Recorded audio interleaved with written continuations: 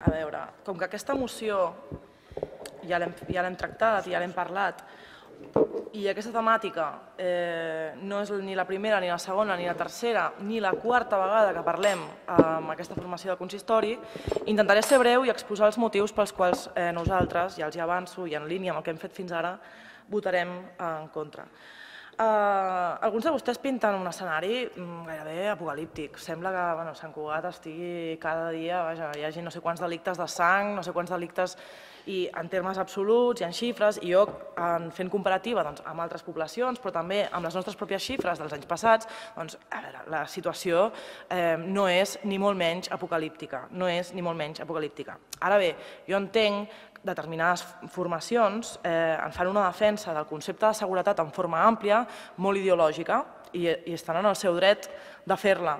Per, per descomptat estan en el seu dret de fer-la perquè és, de, és una qüestió de definició gairebé eh, doncs això, ideològica. Però deixi'm fer una prèvia, no? perquè vostè abans, i és que m'ha fet gràcia perquè en la moció anterior deia d'una moció que s'estava treballant al, al Congrés, si no m'equivoco, deia és extemporània, ja s'està treballant, no té cap sentit presentar una moció de coses que ja s'estan fent. Jo això ho sento, ho sento però li haig, de, li haig de repetir en aquest sentit. O sigui, vostè presenta una moció que insta, que parla de coses que ja s'estan fent i sobretot, sobretot, ficar el dit a la nafra, i ara és el segon tema el que l'anava, eh, el tema eh, ideològic doncs, de la seguretat. És un cavall de batalla ideològic, està clar, la seguretat, la fortalesa, la mà de ferro, eh, la llei Mordassa, moltíssimes lleis que estan associades doncs, al, al seu partit, a formacions de dreta, de dretes, les càmeres, els agents, eh, la tècnica, diguéssim, mm, eh, coercitiva no?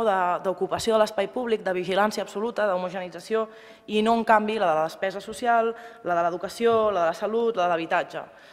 Eh, clar, si només fos ideològic no tindríem, diguéssim, molt problema. Vostès defensen un model, nosaltres en defensem un altre. Què passa?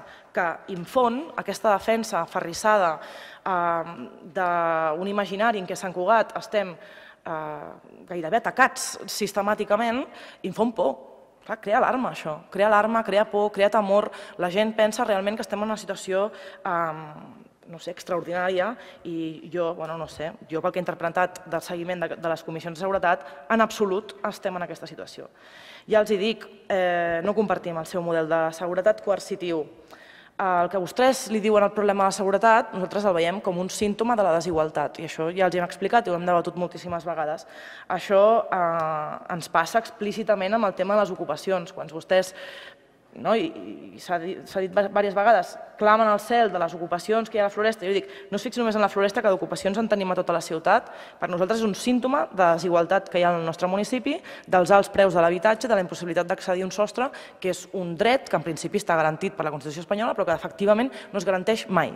Llavors, quan quan barreges doncs, aquests, aquestes, aquests dos elements, surten transgressions de la legislació, com per exemple l'ocupació d'habitatges efectivament de la propietat. No entro a, a la valoració, li dic que per nosaltres és un símptoma d'un problema molt més arrelat i segurament que és molt més responsable de, de la gent que ostentem càrrecs públics, que és la d'anar a combatre la desigualtat a la seva arrel. Nosaltres apostem per un model de proximitat. Sí, també tenim model de seguretat, per un model molt més holístic, integral, de proximitat i doncs, eh, ens afegim doncs, a la demanda que, que es reuneixi efectivament el comitè eh, de seguretat local i que es pugui parlar de tots aquests elements amb, amb tranquil·litat, sense passions, amb les xifres sobre la taula i una mica sent responsables i parant de generar una alarma que veiem absolutament inexistent. Uh, crec que no em deixo res més, uh, simplement anunciar doncs, que votarem en contra d'aquesta moció. Gràcies. Clar que no discriminen entre esquerra i dreta, però la perspectiva és completament diferent. És que, és que no té res a veure. No, no em barregi el tocino amb la velocitat, que estan tranquils cadascú a casa seva. A veure, eh, jo només volia apuntar una cosa. Eh, senyor Benejam, quan una persona o un grup polític o una formació insisteix, fa columnes, insisteix, eh, ho porta al Parlament, ho torna, ho torna a portar, sí que està generant alarma, està incidint en un tema concretament. No l'he vist incidir en altres temes com el tema de la seguretat. Jo no dic que vostè hagi fet unes declaracions desaforades, però que el que estava dient abans el Ramon és que fins i tot vostè reia de les declaracions al, al Parlament, de lo fora del lloc que estan i de lo poc contextualitzades que estan a la nostra ciutat. És la meva opinió, per descomptat vostè ho veu eh, gravíssim, per això ho posa a la taula cada dos per tres, i jo li assenyalo doncs, que per mi les causes són molt més transcendentals. Només volia apuntar una cosa, perquè crec que és interessant i, i ho llenço com a repte de, de buscar aquesta informació.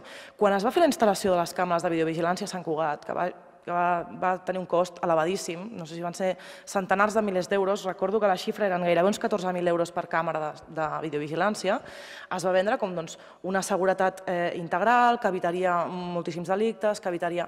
M'agradaria saber quantes d'aquestes càmeres, quantes d'aquest superpressupost que, que vam invertir tots els santcugatencs han sigut realment eficaces en la prevenció i en la intervenció i en la detecció de, de, de delictes. Ho poso en dubte. Hi ha hagut experiments a ciutats en ciutats de les més, video, més videovigilades del món, per exemple a Londres, en què diu que les càmeres, totes les càmeres de, de, de la ciutat intervenen en no més d'un 2% dels delictes. Per tant, el model de seguretat, de coerció, de més pressió, no evita que els delictes contra la propietat se segueixin fent. Si vostè posa agents de nit, doncs vindran de dia. Si els posa de dia, si en posa 25, seran més cauts.